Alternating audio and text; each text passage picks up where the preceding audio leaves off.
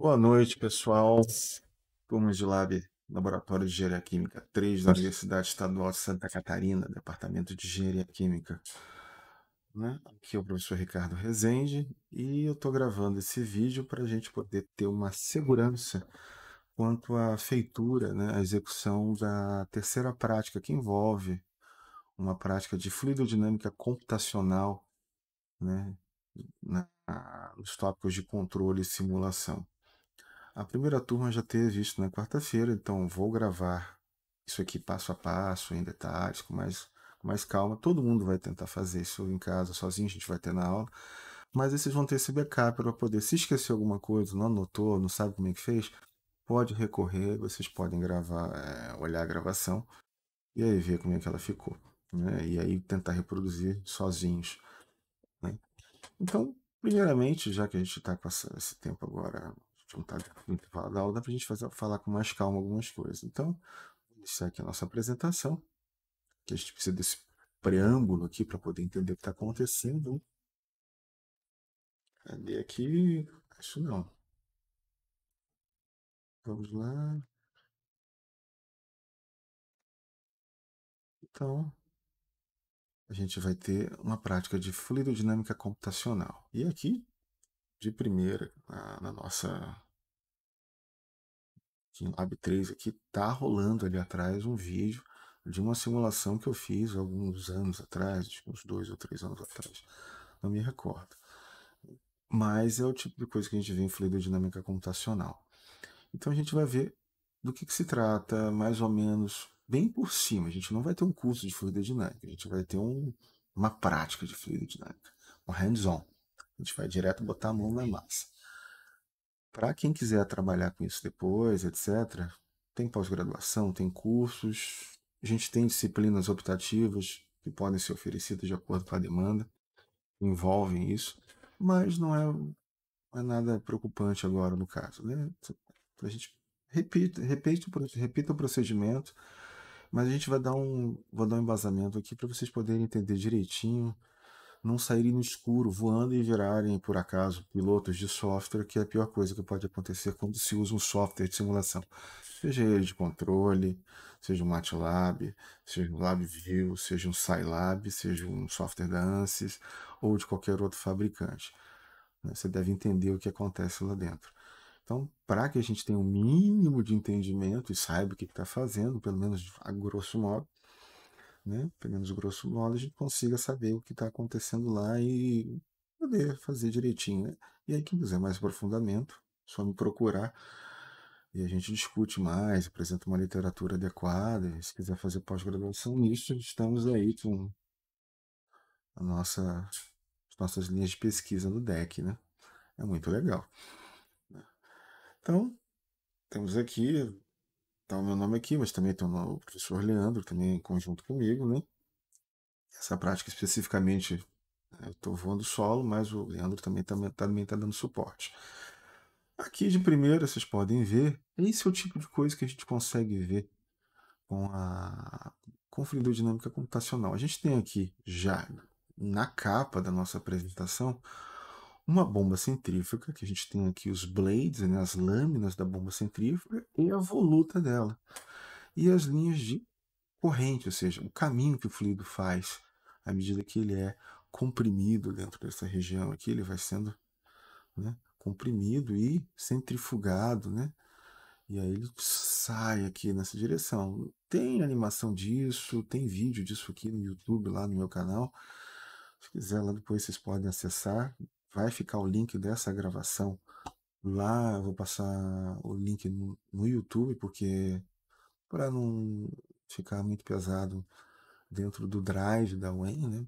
Tem uma limitação de espaço. É grande, mas um dia ela acaba, né? A quantidade de aulas e vídeos que a gente faz pode rapidamente encher o sistema. Então é bom não abusar, né?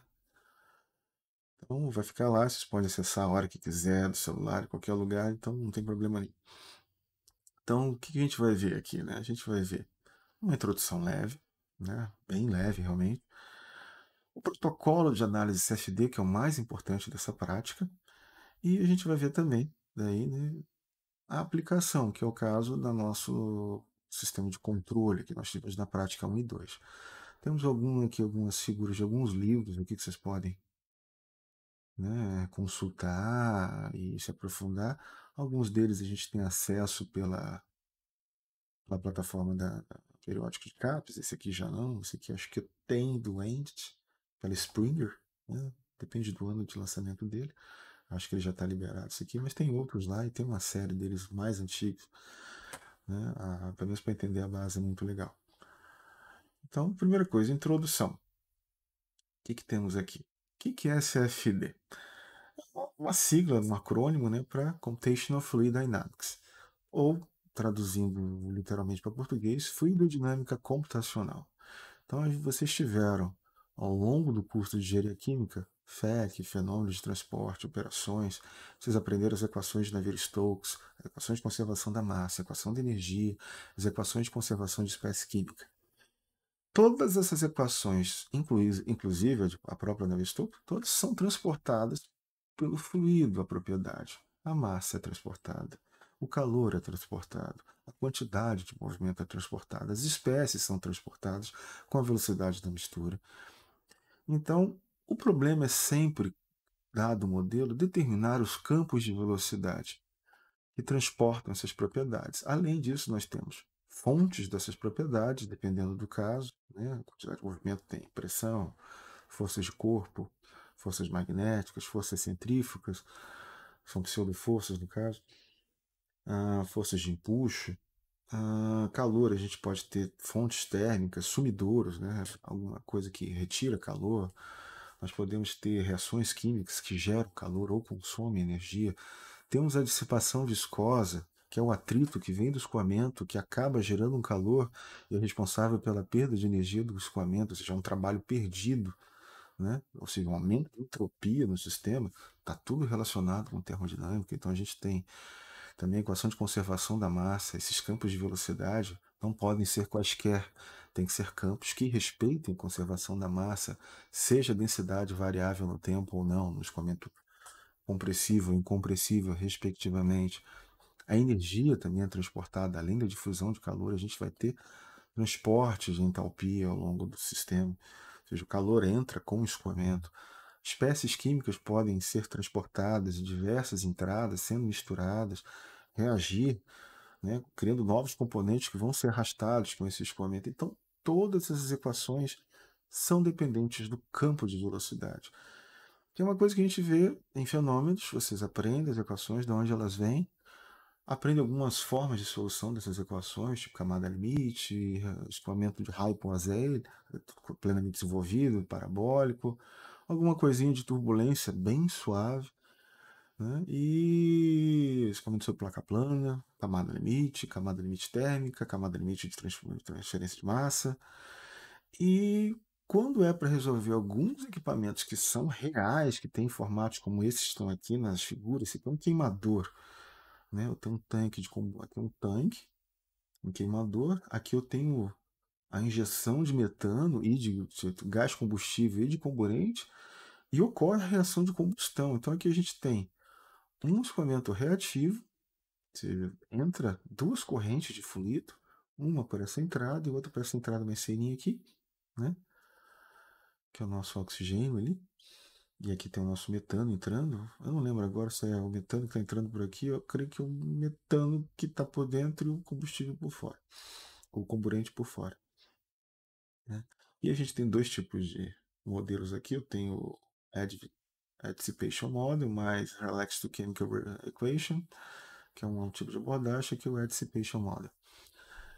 E aqui a gente tem o perfil da chama, né? e aqui um detalhe do queimador. Então a gente consegue ver até onde está a chama. E a chama é uma frente de reação.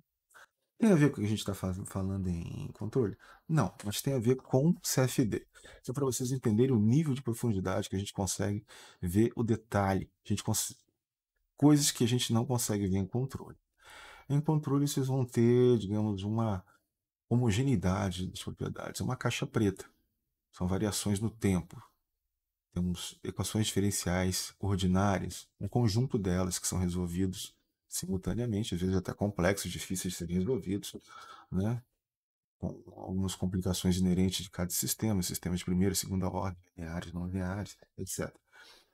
Né? Mas esse detalhe é mais para controle, da disciplina de controle. Mas, quando você precisa saber o que acontece dentro do sistema exatamente, o controle ele é cego para isso. Ele não enxerga isso. Ele vai enxergar o modelo que você fez e esse modelo não vê nenhuma variação espacial dentro do sistema. E aqui, só nessa figura, a gente tem uma variação no campo de concentração de temperatura. A temperatura está variando aqui de 700, acho que perto de 1700 graus, com um pedacinho da figura aqui. Mas aqui ela está tipo 1500, 1700, 2000 graus aqui achamos.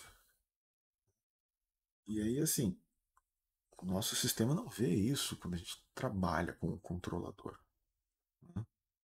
Ele vai ver um, uma caixona, um, um cilindro, não tem nada. Quando isso aqui é importante, claro que dá para controlar isso aqui também modelar de forma adequada para controle, obviamente, a tua questão de como você aborda o problema. Mas no nível que vocês veem em graduação, coisa mais ou menos essa. Uma caixinha preta, entra, tem saída de massa, tem saída de energia, saída de espécie química, acontece alguma coisa lá dentro, isso sai. A gente vai, faz a malha aberta, a malha fechada, com controle com feedback, etc. Então a gente vai usar o CFD para isso. E o CFD vai ser um conjunto de técnicas matemáticas, vai envolver todas as equações de conservação que a gente já trabalhou em engenharia química, mais algumas que vocês não viram nunca na vida e vão acabar vendo, e computacionais e numéricas também, né? Como que a gente os métodos numéricos que, que envolvem essas coisas, né? Vocês viram provavelmente diferenças finitas ou com alguma coisa parecida com isso, mas lembra muito os métodos de solução de achar equações, é, solução, raízes de equações. Começa por ali e a coisa vai complicando, ficando mais, mais assim, matematicamente mais robusta, com mais detalhes, com mais variáveis, mais graus de liberdade, mas em essência é tudo a mesma coisa. Né? E aí vai envolver, se você estiver trabalhando com escoamento, um método numérico, e isso for simulação, SFD. Qualquer coisa que não envolver escoamento, ah, estou trabalhando com, sei lá, estou simulando no Aspen. É simulação, é um método numérico, já está implementado, mas não é SFD. É simulação de processo. Controle também não é SFD. Ah, térmico, insólidos. Está envolvido, né? Dá para resolver com CFD? Dá, porque envolve algumas vezes. Mas não, não tem nada a ver. Estrutura também não tem a ver. Então, tem que ter escoamento. Quando tiver escoamento, a gente vai usar a abordagem de fluidodinâmica computacional, que tem um protocolo de ação, tem métodos específicos, tem uma matemática própria. Porque o sistema é inerentemente não linear na maioria das vezes.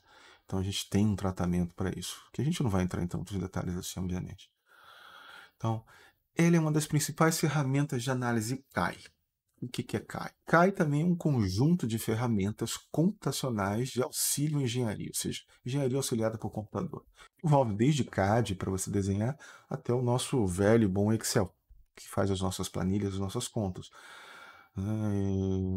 monta algumas planilhas muito boas. Se você tiver inteligência e dedicação para trabalhar com Excel e usar ele bem, você faz milagres com ele. Até alguns aplicativos com interface, etc. E se você linkar ele com base de dados, Power BI e outros, Python agora tem uma, recentemente agora está sendo liberado a interface para trabalhar com Python no 365, se você tiver assinatura dele, tiver também na na, no grupo de insiders né, da Microsoft, você já deve estar usando. Né?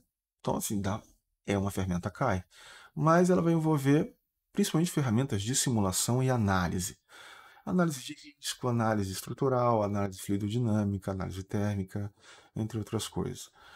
Né? E ao lado dela também a gente vai ter a de FEA, né, que é a Finite Element Analysis, que é daí para muito usado em estruturas. Mas a gente pode usar esses métodos Simplesmente posso analisar fluidos com fé, com elementos finitos e com o método de CFD eu posso analisar estruturas. Não é muito comum, mas eu conheço gente que já fez. Funciona, mas cada um tem o seu nicho de aplicação. E eles funcionam bem porque foram anos de desenvolvimento, né? 50, 60 anos ou até mais desenvolvimento, tanto matemático quanto nos algoritmos, códigos e hardware para trabalhar com essas coisas, né? que até não muito tempo atrás era uma limitação grande. Hoje em dia os nossos computadores estão muito bons para trabalhar com isso. A gente pode fazer algumas coisas que eu não faria 10 anos atrás em casa. Né? Teria que fazer só na universidade. Hoje eu consigo rodar no meu laptop. Meu laptop está muito bom, né? frente ao que eu usei no meu mestrado, por exemplo. Então, assim, qual é a abordagem de CFD? Né? O que, que a gente faz? Aqui a gente tem alguns exemplos de fluidos, aqui um pedaço de código, aqui o ônibus espacial, né, que a gente não está usando mais, mas estão pensando em reutilizar essa abordagem novamente. Aqui os problemas de escoamento, que é o problema clássico da cavidade, que não vem ao caso aqui agora, cavidade quadrada em que o fluido gira. Tudo isso aqui é abordado via CFD. Isso aqui é tudo via CFD. Então, assim, quando a gente vai ter esse conjunto de equações diferenciais parciais, nessas EDPs, a gente vai ter Navier-Stokes variando em tempo, x, y, z, se for plano cartesiano, ou qualquer outro plano, sistema coordenado, cilíndrico, esférico, etc. Né? Uh, a, gente não, a gente vai ter um sistema de equações, só na Navier-Stokes já são três delas. Para poder fechar o sistema, ainda preciso resolver a massa. Se envolver compressibilidade, escoamento fungais, alguma coisa que muda de densidade com a pressão e temperatura, eu vou envolver equação da energia, vou envolver ainda equação de estado, vou envolver termodinâmica e ainda vai envolver também, dependendo das equações de turbulência, que eu vou ter que fazer o tratamento da turbulência, que a gente vê muito pouco realmente em fenômenos de transporte, porque turbulência é uma disciplina única e à parte, ela é muito complexa. Então a gente vê uma, uma, tem uma ideia da turbulência, mas acaba não evitando, dando um contorno nela. No caso aqui a gente vai usar a turbulência, mas também não vamos entrar em detalhes nela.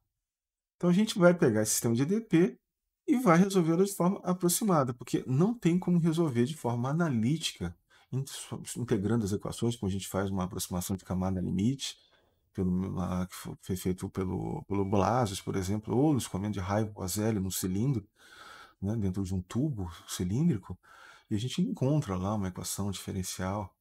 Ou a gente pode fazer isso também para um quadrado, vai envolver a série de Taylor, daí o método fica um pouco mais complicado, a série de Taylor, não, desculpa, a série de Fourier, uma solução em série de Fourier, dá, se você fizer na mão, dá umas 4, 5 páginas, você chega nela. Né? E você encontra aquele perfil parabólico bonitinho, né, que ajuda bastante, você consegue tirar a, as derivadas da parede, calcular coeficiente de atrito, que é o que a gente quer saber, para calcular a perda de carga. É a função dessas coisas. Então a gente vai pegar esse conjunto de equações e vai criar uma aproximação, porque agora, como eu não consigo integrar e achar a solução, eu vou ter que pegar essas equações e resolver de formas aproximadas. E aí eu vou pegar e usar um método numérico, vou discretizá-las, vou aproximar todas as derivadas por algum tipo de método. E aí eu vou criar daí. Por exemplo, vou usar diferenças finitas, é quando a gente começa a aprender, usa ele. Volumes finitos está aqui em destacado, porque é o método que é geralmente usado, 99,9% dos códigos de fluidos usam o método de volumes finitos, mais à frente eu vou explicar o porquê. Elementos finitos, elementos de contorno, etc. Todos eles têm o seu nicho de aplicação e a gente pode variar eles, é, usar eles em qualquer método, na verdade, em qualquer sistema de EDPs. Mas alguns têm algumas ferramentas já de longa data que funcionam muito bem. Então, em fluidos, nós usamos quase sempre, majoritariamente, volumes finitos é um método que vocês acho que não veem na graduação. Mas não é nada demais. Você, vocês meio que já viram, mas não sabe o que viram. Né? Então, assim, e cada um desses métodos aqui tem diversas variações. Então, ciências finitas para malhas ortogonais, não ortogonais, uh, estruturados, não estruturados, estruturados, volumes finitos a mesma coisa. Elementos finitos já é, na, já é nativamente para sistemas não estruturados. Né? Aí volumes finitos baseado em elementos com a mistura de volumes finitos e elementos finitos, que é o que a gente vai usar aqui, do, o ANSYS FX, que é o programa que a gente vai usar, usa ele. Elementos de contorno já trabalha com o teorema de Stokes. Volumes finitos trabalha com o teorema de Gauss. Aqui já trabalha com é, integral, tipo, a aproximação de Galerkin. Então, todos eles têm uma, um tipo de abordagem matemática, né? que serve para poder gerar um conjunto de equações aproximadas. Né? E tem as suas variações e seus motivos para serem dessa forma. Né? Se você for trabalhar com isso, é necessário, como analista numérico, como engenheiro, que você entenda cada um desses métodos aqui que você vai usar. Senão você vira piloto de software. Não é o objetivo dessa aula e nem. Ah, que legal, estou trabalhando com CFD, vou usar agora. Não, não é para isso. Tá bom? Então, assim, se for trabalhar com isso, recomendo que leia, né? Algum desses livros aqui, estude isso. Tem bastante vídeo hoje que explica bastante coisa. Eu tenho algumas aulas online também que você pode usar e tem a do professor Malisca, que era o meu orientador também. Posso deixar o link depois lá na, no Classroom para vocês poderem olhar como algum material de apoio, se quiserem se aprofundar. Mas é requerido que vocês façam essas coisas. Para a nossa prática, não é necessário. A gente vai voar raso ali, baixinho, sem problema. Então vamos ver o método de volumes finitos. Aqui tem um monte, tem umas três soluções aqui, tudo eu que fiz isso aqui. Menos esse carrinho aqui, isso aqui eu peguei na internet. Né? Isso aqui é um, a Fórmula 1. Isso é usado direto na indústria. Né? Pode parecer que simulação é uma coisa, nossa, nunca vi simulação sendo usada. Ela é usada. Empresas de médio, grande porte usam CFD. Raramente você faz um projeto hoje sem usar uma simulação. Você não faz prototipagem e parte para fazer manufatura do seu protótipo, testa, vê que deu errado e gasta aquele dinheiro de novo, tempo, funcionário para fazer isso. Você vai fazer uma simulação, né? vai gerar um CAD, vai fazer uma simulação, várias simulações, vai achar o melhor design dado pelo CAD, vai validar o seu modelo alguma coisa que você já conhece, e aí você vai fazer o seu protótipo. Então você vai encurtar esse ciclo de prototipagem. Né? Essa é a função dele. Na Fórmula 1, por exemplo, eles fazem isso para ajeitar né, que os design do carro durante a corrida para ganhar milésimos, décimos de segundo. Eles vão fazendo a simulação do veículo de acordo com as condições ambientes, lá no dia, umidade, pressão, temperatura. Aqueles caminhões, os caras estão rodando aquele negócio lá estão rodando nas matrizes das montadoras né, dos fabricantes da McLaren, da BMW, da Ford, né, que são as pessoas que financiam isso aqui tudo, e eles estão usando. Não tem um avião que sai do chão sem fazer isso aqui. Petroquímica usa direto. Né? Petrobras, isso aqui é. Todo dia tem isso lá. Tem, tem equipes que fazem isso aqui. Além de toda a parte de engenharia química, de operações, simulação de processos, termodinâmica, etc. É tudo junto. Então, uma descrição breve. Aqui a gente tem, do lado aqui, ó, alguns um monte de quadradinho, triângulo, etc. Eu vou explicar isso aqui. Então, como já expliquei, ele é o método principal usado na análise de escoamento, né? E ele tem um porquê disso. O método de volumes finitos ele tem um apelo físico. Quando vocês aprendem fenômenos, vocês aprendem dois tipos de balanço: o balanço integral e o balanço diferencial. Eu não sei que ordem vocês veem isso, Depende aí do professor e do, da didática de cada um, mas tanto faz. E a gente vai encontrar as equações diferenciais. Quando a gente vai discretizar, a gente tem que voltar àquela análise discreta que a gente tinha naquele balanço diferencialzinho. Mas vamos usar integrais novamente. Então a gente vai fazer o seguinte: vai pegar a nossa região, que era a nossa geometria, sei lá, esse volume aqui, por exemplo, né, que é contínuo, ou seja, ele tem infinitos pontos aqui dentro, eu vou analisar, fazer um balanço para pequenos volumes de controle dentro dele. Eu vou tornar a minha geometria fatiada em elementos, né, regiões volumétricas discretas, né, um número de volumes que é finito, ou seja, não tem infinitos pontos como numa derivada tem num cálculo, uma função. Eu posso derivar em qualquer ponto dentro do domínio. Não, vão ser pontos discretos, uma quantidade finita. E como são volumes de controle, chama-se volumes finitos. Né? O elemento de malha a gente chama de elemento, né? que é esse, esse carinha, esse triângulo. Aqui no caso é um tetraedro e aqui embaixo a gente tem um cubo, né? um hexaedro. Então a gente faz um balanço. E o volume finitos prega, é, preza pela conservação do fluxo. O que entra tem que ser igual ao que sai, o somatório disso tudo tem que fechar. Né? E é por isso que ele é usado em fluido. E é o que você já vem fazendo ao longo, desde FEC, né? Fazendo lá de produção, fundamentação de engenharia química lá, produção de engenharia química. E vocês já fazem isso de forma direta e sem saber é a base de finitos. Então, não há nada de diferente que vocês já tenham feito. A questão é como é aplicado e como isso depois gera o método numérico que vocês estão trabalhando. Então, a gente vai prezar por isso. Então, a gente pega e divide. Né? Quanto menor a divisão, mais preciso fica e também mais complicado, porque cada elementozinho desse depende dos valores de fluxo que estão em volta do, dos vizinhos. Então, o que esse amarelinho aqui está recebendo fluxos de baixo, da direita, de cima, das condições de contorno que tem na fronteira. E isso tudo está acoplado, ou seja, eu não conheço tudo aqui dentro. Eu só conheço as fronteiras, as minhas condições de contorno e as minhas condições iniciais. E é isso que ele vai fazer. Ele vai criar um conjunto de equações acopladas. Né? Mas eu posso fazer aqui qualquer método desse. Opa, aqui achei um errinho aqui de digitação, mas tudo bem. Não tem problema não. E aqui a gente tem alguns... Aqui a gente, isso aqui, isso aqui essa animaçãozinha aqui é um, uma torneira do misturador. Que a minha câmera está viajando dentro da linha de corrente do escoamento. Né? Então eu estou entrando pelo lado da linha quente, de água quente. E ela está passando vários desvios dentro da minha, da minha torneira. E ela está saindo de 333 Kelvin, está indo para 293, né? Não, 293 não, 313 mais ou menos, está ficando verdinho. Então ela entra quente de um lado, frio do outro, e chega nessa temperatura média, que é o que eu quero. Dependendo de como está o arranjo lá dentro, não vai chegar tudo misturado. Eu vou ter segregação, vou ter uma corrente, nem que está aqui em cima, por exemplo, vai ter um pedaço que está quente, um pedaço está frio.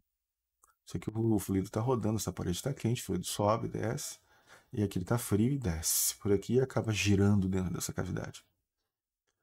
O que mais temos aqui? Ah, esse teorema, o método de volumes é baseado no teorema de Gauss, ou teorema da divergência. E o que, que diz o teorema da divergência? Ou seja, eu quero saber o que acontece dentro desse volume. Né? Aí eu vou fazer uma integral de volume. Aí o teorema de Gauss me diz o seguinte: se você quiser saber o que acontece dentro do volume, veja o que aconteceu na fronteira. Ou seja, se mudar dentro do volume é porque atravessou as fronteiras. Se você somar todos os fluxos em volta dessas fronteiras, você tem a variação dentro do seu volume. Ou seja, a integral de superfície, ou seja, na fronteira do teu volume de controle, se torna uma integral de volume. E vice-versa. Você pode usar elas em qualquer sentido. Então a gente usa o teorema de Gauss, a gente integra essas essas EDPs, todas elas, Navier-Stokes, energia, massa, etc., nos volumes de controle discretos, ou seja, naqueles quadradinhos, nos tetraedros, etc. Né? Claro que as integrais às vezes são complicadas dependendo da forma do elemento, mas isso aqui não vem ao caso. E aí a gente vai ter pontos de integração sobre as superfícies. Vou integrar aqui, que entra, que sai, sai aqui. E quando chegar nesse ponto, eu não conheço a função. E aí é aqui que eu entro com uma aproximação numérica. Aí tem várias formas de fazer isso. Né? Pode ser diferenças finitas, aí a gente pode usar diferenças centrais, regressivas, a ordem pode ser de primeira, segunda, terceira, quarta ordem, aí tem vários métodos. Aí isso é uma coisa bem inerente do método numérico. Né? E aí, essas fronteiras pertencem a mais de um volume de controle. Então, quando eu defino alguma coisa que vai pela fronteira, é porque ela saiu de um volume e está entrando no outro. Então, isso acaba criando um acoplamento entre todos os elementos. Para poder resolver o campo inteiro, tem que resolver todo mundo simultaneamente. Isso me vai informar um sistema de equações algébricas. Então, eu saio a partir do teorema de Gauss, aplicando a volumes discretos, pego as minhas EDPs, são contínuas no espaço e tempo, aplico ela nesses volumes de controle Crio aproximações para os valores dessas integrais nessas fronteiras e nesses volumes. E aí, isso me gera um sistema algébrico. E sistema algébrico a gente sabe resolver. Né? A gente consegue agora trabalhar. Se a aproximação for boa, a gente vai ter um bom resultado. Se a aproximação for ruim, vamos ter um resultado ruim. Então, o jeito que isso aqui é feito afeta a, a solução. Então aqui do lado a gente tem duas janelas, aqui dois exemplos aqui. Aqui uma torneira, uma válvula globo que eu estava trabalhando dentro do Fluent, que é um outro software de simulação, e eu estou vendo o que aconteceu meio dentro dela aqui, deu até um... Alguma coisa eu fiz de errado aqui, pego, capturou aqui, aqui a gente tem vários elementos de célula, aqui, ó, camada limite sendo né, capturada por elementos na parede. Ó, tem que fazer esse refinamento. Aqui tem um detalhe, né? A gente vai fazendo esses balanços nessas regiõezinhas aqui. Então aqui eu tenho um outro exemplo, eu tenho um tubo, né, um, uma serpentina aqui. Ela é um volume gigante, né? Sei lá o tamanho dela, pode ser pequenininho, pode ser um oleoduto isso aqui, não importa. Eu subdivido ela em volumes pequenos, com o meu volume de controle. Aqui eu tenho a minha fronteira, onde eu vou ter, digamos, essa parede aqui, por exemplo, eu vou ter a condição de contorno, digamos, para velocidade, velocidade zero, temperatura, adiabático, fluxo de calor, temperatura fixa, e aí eu vou fazendo meu balanço, né? Tem centro de meu volume de controle, vou fazer o balanço, né? Crio meu volume de controle, que pode ser o próprio triângulo, ou posso montar ele em volta de um nó. Esses pontinhos aqui, né? São os centroides. Eu vou fazer as integrais nesses pontos aqui. E é aqui que eu vou fazendo as aproximações, né? Aqui, ó, vou ver os fluxos de entrada, ou seja, aqui está entrando Está sendo, está fluindo, a advecção é, é, entra. Tenho aqui a difusão entrando e saindo. Tenho termos fontes, tenho a variação do tempo dentro desse volume de controle poliédrico que tem aqui. em volta, e esses valores dessas que assumem aqui depende desse valor nodal, que representa todo o volume de controle, e dos vizinhos, que eu vou acabar usando para avaliar o que está acontecendo nos pontos em que eu estou integrando. Então, vai ser uma aproximação que vai envolver cada ponto desse aqui vai envolver os vizinhos e acaba acoplando todo mundo, porque aqui já tem outro volume de controle que nem está aqui. Ó, né? E nas fronteiras, quando a gente chega na fronteira da geometria, a gente vai ter a própria condição de contorno que nos dá a informação da física do problema. Né? Se a velocidade está escorregando, se o fluido, se ali é uma parede, se é móvel, se a temperatura varia, se tem reação química, se não tem, etc. Coisas acontecem nas fronteiras e a gente determina elas aí isso entra na matemática. Então é isso que vai fazer o método numérico. Né? Então a gente tem basicamente três métodos aqui, que a gente vai usar o método de valores finitos, que a gente tem os volumes de controle. A nossa derivada a gente vai trabalhar ela na forma integral, vai integrar ela dentro do nosso control of control volume, ou seja, volume de controle, vai aplicar o termo da divergência e aí eu vou ver que, no caso aqui, essa derivada de x dv, é o gradiente da velocidade no volume, ou seja, dentro do volume de controle, ele pode ser avaliado de acordo com a velocidade na direção normal à fronteira do volume de controle, que é o que faz o termo da divergência. Isso funciona nas duas direções, tá? Eu posso sair dessa, vir para essa ou dessa para essa. Diferenças finitas, a gente aproxima daí os valores da nossa, a gente aproxima os valores da nossa variável com base nos valores da derivada? E cria aproximações para as nossas derivadas de primeira e segunda ordem. Está preocupado somente como aproximar as derivadas. Né? No caso aqui, diferença central, por exemplo, para essa derivada, usando essas duas aqui, se eu, so, se eu somar, ou melhor, subtrair essas duas aqui, eu chego nessa formulação, ou seja, eu vou um ponto para frente, a partir de um ponto i, avaliando o que acontece um ponto à frente na né, direção x, eu vou ter que calcular o que tinha antes, mais uma variação, e um ponto para trás. Se eu quiser saber o que acontece no ponto de acordo com o que eu tenho à frente e atrás, é essa aproximação para essa derivada. E aqui nós temos o médio de elementos finitos, né?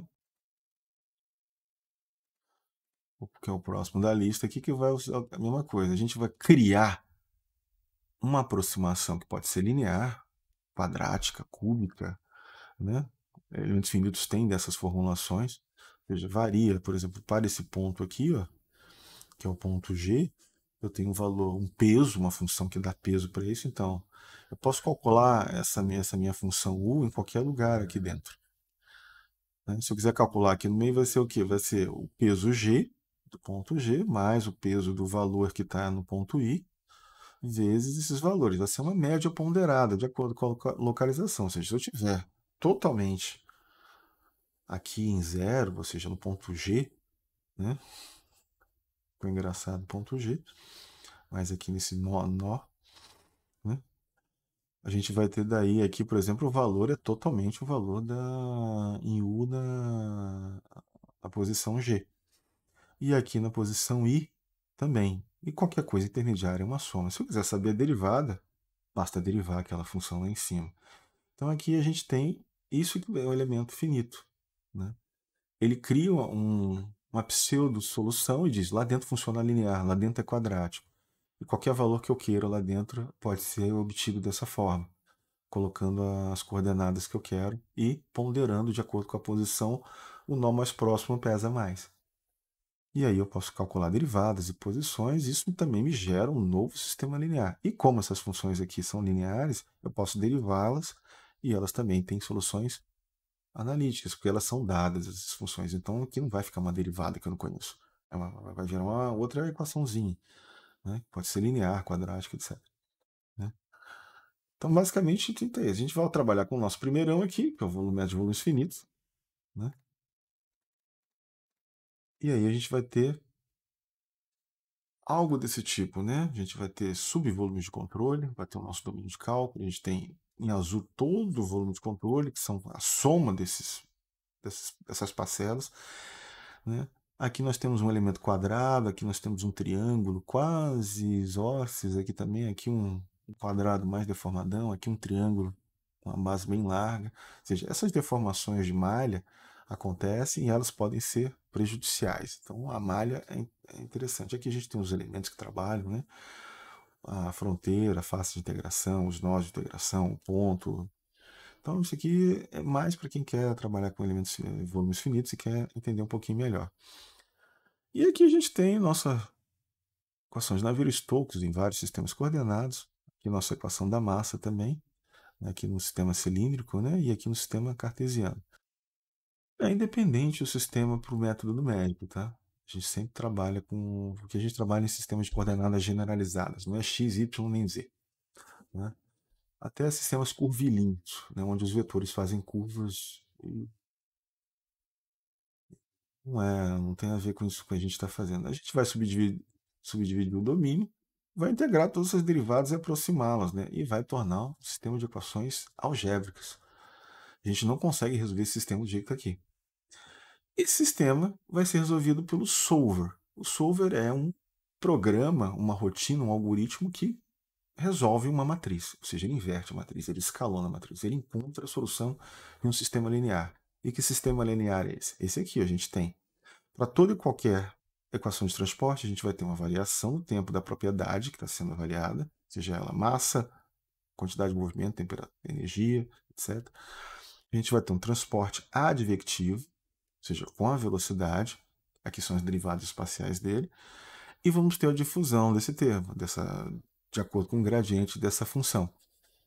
E prováveis fontes que geram ou consomem essa propriedade. Né? Caso de uma reação com um componente químico, que a gente pode ser os termos de reação, a cinética dele.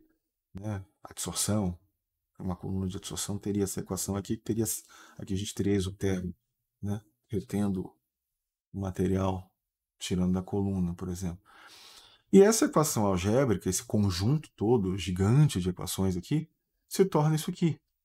Ou seja, um monte de coeficientes algébricos multiplicando a minha função, a minha propriedade em pontos, né? aqui meu ponto P que eu estou avaliando, mais o somatório de todos os vizinhos, né? esse neighbors aqui, né? esse NB, e cada ponto desse tem também um, um coeficiente, iguais a eventuais constantes. Temos fontes, condições de contorno, condições iniciais que já existem ali. E é como se fosse aqui, se eu quisesse saber o valor de P, era só isolar, dividir todo mundo por AP aqui e resolver isso de forma explícita. É um jeito de resolver também, e se resolve dessa forma. Né? Mas não é a forma mais robusta de se fazer. Mas quando a gente começa a fazer codificação, a gente faz desse jeito. Né? É uma média ponderada, ou seja, o ponto P, que é o ponto que eu estou avaliando, e todos os vizinhos vão entrar nesse balanço e eles são ponderados. Ou seja, o valor de P assumido depende do, do próprio valor dele, de várias constantes e funções que existem ali, e da vizinhança dele, de, de acordo com um certo peso, que é esse coeficiente A.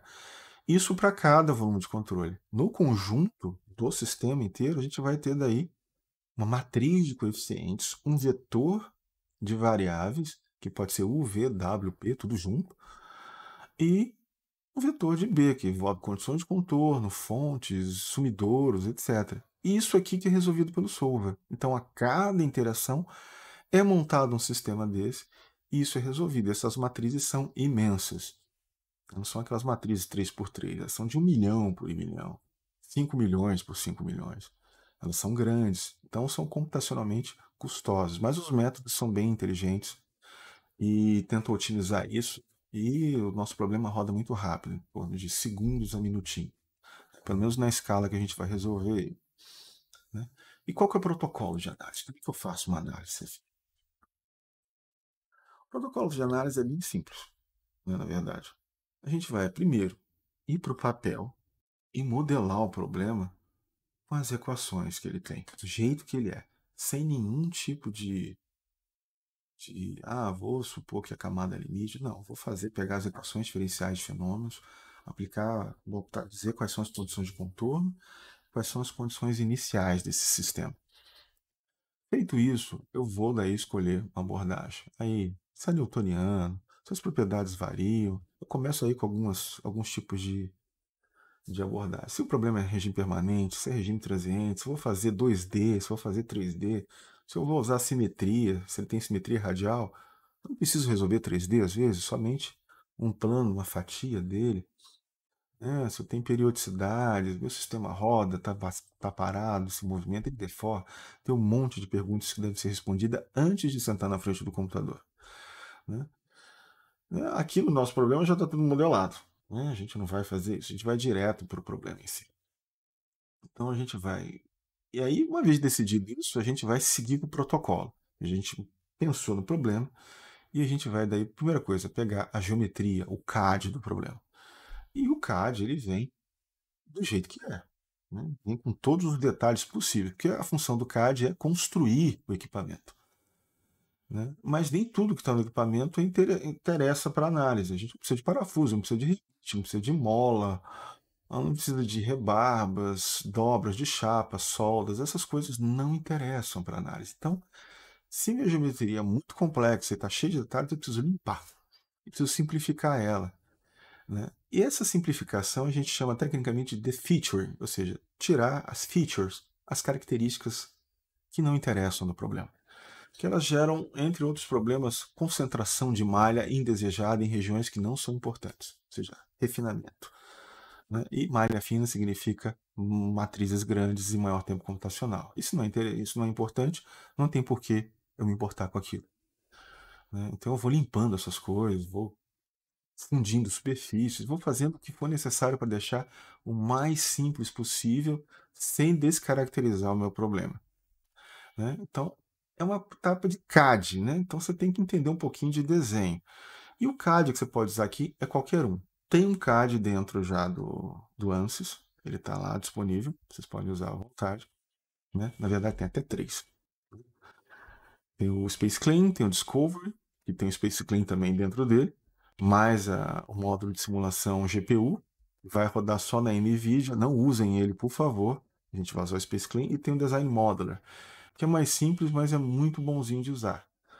Mas o Space Clean é muito legal. Quem já usou o Google SketchUp, que é um CAD da Google, se você não sabe o que é, procure.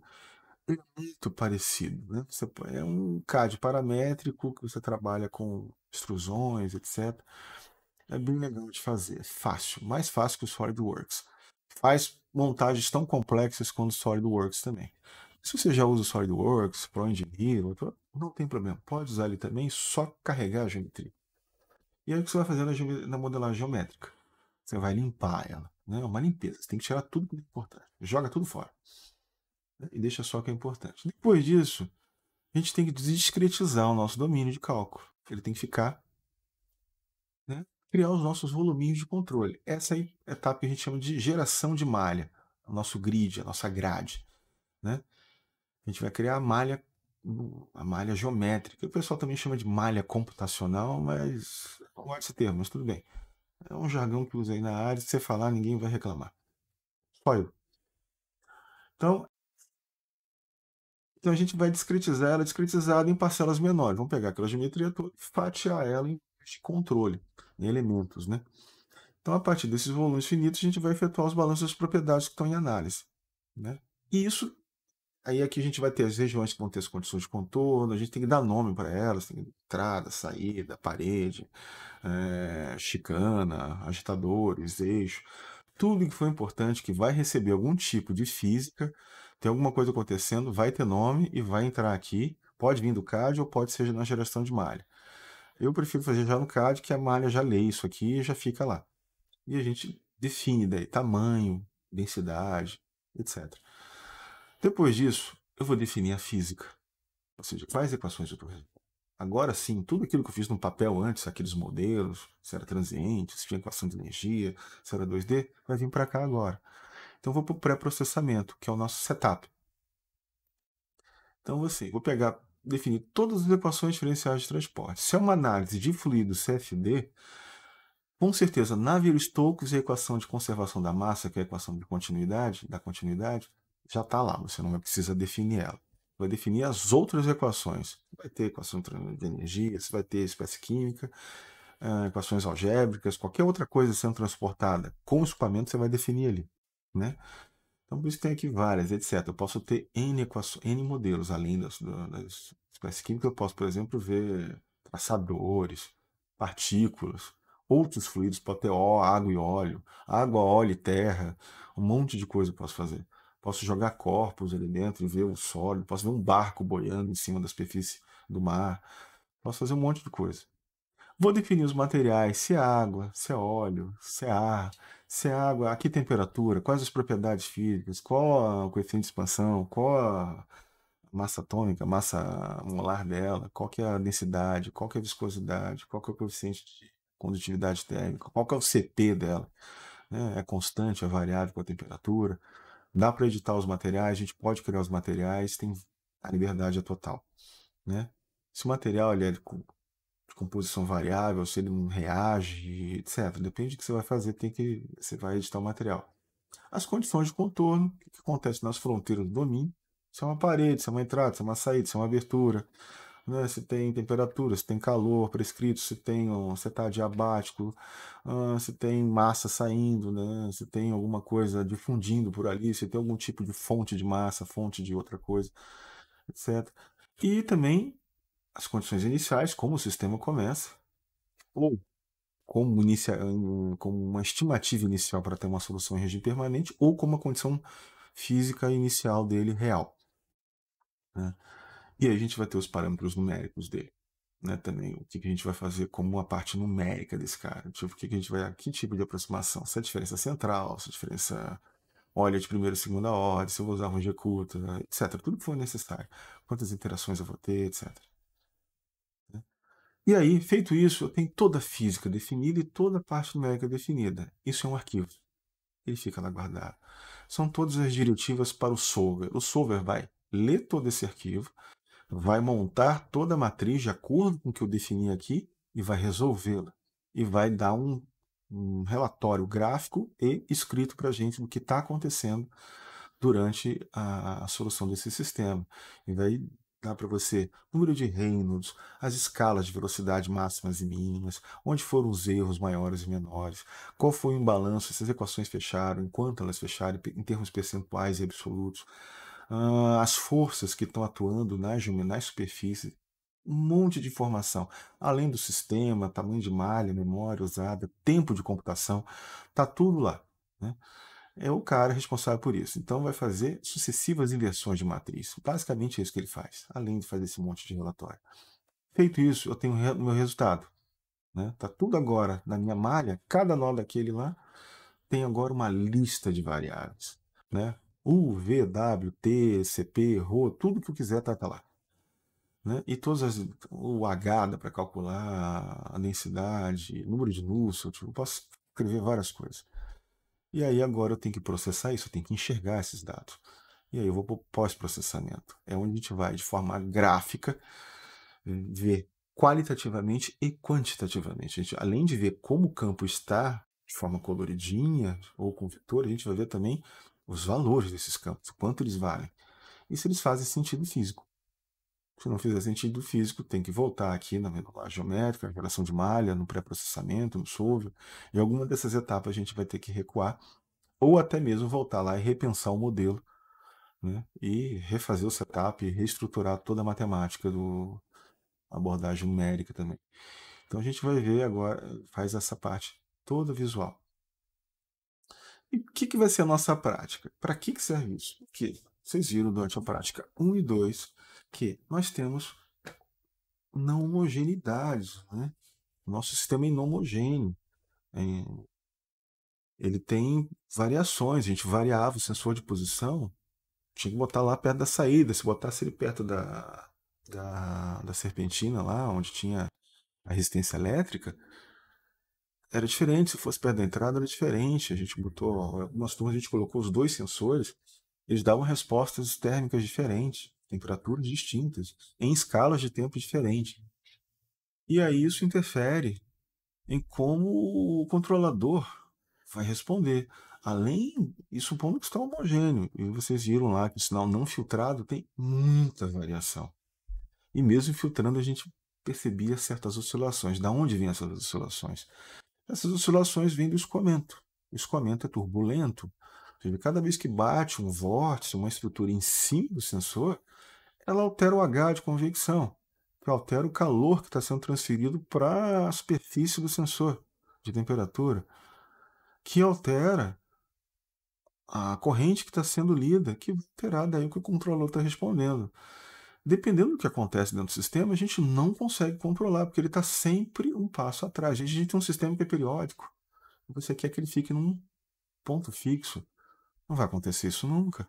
E como é que você sabe disso? Ou você vai experimentalmente tentar medir esse escoamento e vai perceber esse, esse tipo de comportamento depois de várias tentativas e erros. E um grande custo financeiro, porque você vai estar gastando tempo, equipamento, dinheiro, água, energia. Ou você pode criar um modelo e ver o que acontece para cada tipo de variação de parâmetro de processo que você cria no seu sistema. Né? Então você pode daí, com isso, definir, pô, é legal que eu coloque, só tem um único sensor, que é o nosso caso lá no nosso módulo, eu posso botar meu sensor naquela posição, porque aquela posição representa muito melhor a média do meu sistema inteiro do que botar naquele campo ou naquele. Né? E é esse tipo de resposta que a gente vai ter com o CFD. Dá para fazer isso experimentalmente? Dá. Você monta lá um modelo, vai trocando e vai verificando as respostas com o tempo e ver qual deles se comporta melhor. Supondo que você está com um sistema bem controlado, com os parâmetros todos ajustados, o controlador está afinado já, já está sintonizado. Mas você fez a sintonia baseado em uma amostragem em alguma posição. Então aquela sintonia pode não ser mais adequada a essa nova posição. Então talvez você tenha que refazer toda a sintonia, o ajuste, etc. Malha aberta, depois fazer malha fechada né, escolhendo algum daqueles métodos, Ziegler-Nichols, né, o Amigo, o, IMC, etc. Qual algum deles lá que a gente vai usar? Vocês usaram aí nas práticas, no, nos relatórios 1 e 2. Né? E no controle de vazão isso é pior ainda, né? o sistema não linear, a gente tem aquela rodinha, dá para simular aquela, aquele sensor, tá? A gente não fez isso porque não tem, não tem problema, tem por que fazer esse negócio. Mas é esse o objetivo. Então, se você tiver essa ferramenta mais a ferramenta de controle, você tem tudo que é necessário para você responder várias questões de como controlar o meu sistema e como controlar muito bem o meu sistema, né? E evitando regiões ruins de amostragem e medição, que vão daí impactar no modelo que você criou, que é um modelo que não enxerga nenhuma dessas variações. Isso aqui, por exemplo, é uma hélice de navio. Né? Isso que vocês estão vendo aqui é todo o campo de velocidade atrás dela, né, de empurro. Aqui, no caso, a velocidade ali, ó, está variando de 15,63 metros por segundo a 2, né? Então, tem então, uns valores altos aqui de velocidade. Na média está 5 aqui, deve estar 15 perto das, das pontas, né, dos tipos da, das hélices. Então, aí, por exemplo, você bota se você quiser, por exemplo, ver qual é a melhor rotação para isso aqui, está totalmente homogêneo. Isso aqui é extremamente turbulento, esse sistema. Né? Isso que vocês estão vendo aqui é a sombra do. Esse negócio aqui roda. Então ele não para. Então ele vai ter provavelmente um comportamento periódico. E você vai ver flutuações do teu sinal, que são estruturas da turbulência batendo. Né? Elas interferem em todas as equações da turbulência. A equação de quantidade de movimento, massa e energia. Né? Então, qual é o objetivo da nossa prática? Observar as não homogeneidades inerentes do processo real. Ou seja, ver qual é a diferença entre a idealização do modelo controlado para o modelo de CFD que, que também tem idealizações, tá? ele não é perfeito, mas ele é muito mais próximo da realidade do que o modelo de controle. E ver se esse, essa, essas diferenças são importantes ou não. Se elas não forem importantes, o modelo de controle está afinado, legal. Pode seguir a vida feliz. Verificar se essas variações locais podem ou não interferir no seu processo de controle modelado. Né? Que é a pergunta que você precisa responder. Está controlado, mas é o melhor controle? A resposta está boa? O tempo é bom? Etc. E aí, a gente vai ver no numérico, a gente vai colocar daí a, sondas, né, amostragens, sondas numéricas. Eu posso pegar em qualquer local do que eu quiser no meu domínio, posso pegar um valor de temperatura e verificar o tempo de resposta. Vocês vão ver que os tempos de resposta são parecidos, mas são diferentes. E eles variam cerca, às vezes, de meio grau até 5, 6 graus entre um e outro. Se você, você pode ter um undershoot, um overshoot em cima do teu do teu set point. E você não vai controlar nunca aquilo, por mais que você mexa no controlador. Por quê? Aquele ponto não representa o sistema. Ele representa um ponto quente, um ponto muito frio. Ele não representa a média, né, o balanço global. E é isso que a gente está tentando buscar. Um lugar legal, ou às vezes fazer uma média entre vários sensores para tentar chegar num consenso e tentar de forma. fazer o quê? Manter o nosso modelo de controle o mais próximo possível da, da idealidade que a gente imaginou. E a gente consegue daí mexer sem ter que ficar fazendo testes e testes e testes. E aí ver como que isso está interferindo, como que a gente pode melhorar essas coisas, ou até simplesmente muda a posição do sensor. Ou muda o jeito que você amostra, muda o tipo de sensor. Né? Às vezes, dependendo do tipo de variável, tem vários sensores que fazem a mesma coisa. Né? Posso usar laser, Posso usar infravermelho para medir a temperatura. Né? Posso usar som, posso usar índice de refração, posso usar um monte de coisa. Alguns são meio complicados demais, outros são mais simples. O termopar é muito simples, né? por isso que a gente usa. Posso usar, por exemplo, usar anemômetro de fio quente, além dele me dar as velocidades no ponto, também posso usar a temperatura, etc. Né? Na verdade, eles mudam a resistência da, e a condutividade do meio de acordo com a temperatura, e é isso a gente acaba calibrando. Assim que funciona o termopar, grosso modo falando. Né? A gente pode fazer essas coisas todas. Ah, e aí a gente pode daí identificar pelo CFD quais os melhores locais para contornar essas dificuldades já são intrínsecas. Ou oh, outro erro de digitação aqui.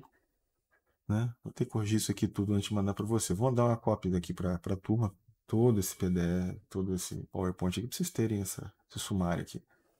Né? E aí, além disso tudo, uma nova ferramenta de análise que vocês não tiveram. Vocês tiveram todos os fenômenos, aquela coisa toda, aquela matemática, mas não viram essas equações trabalhando. Em CFD vocês vê, veem o que acontece com essas, essas, com essas equações. Aqui a gente tem o nosso tanque lá. Né? Por exemplo, aqui o nosso balde, né? Aqui a gente está com o eixo do agitador e aqui está a nossa a nossa resistência elétrica. E aqui a gente tem todas as linhas de corrente. O fluido entra aqui por baixo.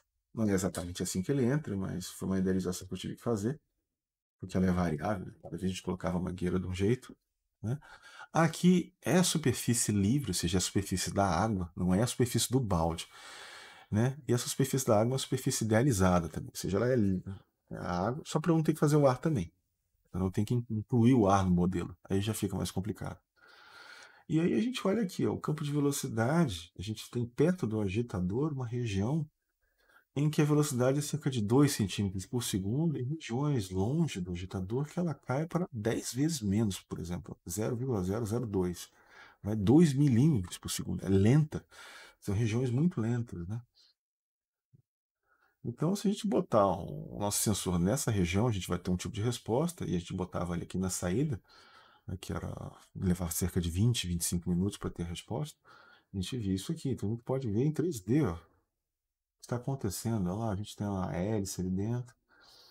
E a gente pode ver que é totalmente não homogêneo a distribuição de velocidades aqui. Então essa região é uma região lenta, né? Ó. O escoamento tende a rotacionar e a ter caminhos preferenciais. Ele vem aqui por dentro. é capturado pelo agitador, é jogado para cima, volta, recircula, volta de novo, dá sei lá quantas voltas lá dentro, capturado novamente pelo agitador, né? Cadê aqui, ó? A gente pode ver isso, né? Ó. E aí ele gira e eventualmente acaba saindo. Ou seja, tem tempo, esse tempo de, que é mais ou menos o tempo de residência de acordo com a vazão. Dá para a gente ter daí, vocês já viram curva de DTR, é os capítulos 12, 13, 14 do Fogler, edições antigas, ou são os últimos três capítulos do Fogler, reatores não ideais. Né? Não sei agora como estão as edições dos capítulos, mas curvas de tempo de distribuição de tempo de residência. Vocês vão ver lá. E aquele tempo de residência, que é o, a vazão dividido pelo volume, ele é uma gaussiana, né? Muito deformada e bem aberta. Que é por causa disso aqui. Se a gente botar um traçador aqui ou ficar vendo a resposta, então, por isso que leva 20 minutos para responder. O fluido tem que dar a volta nisso tudo e esquentar esse volume inteiro de água. Né? E aqui a gente consegue ver como é que é a... as partículas se movem dentro, ó. Bem lentas aqui, ó.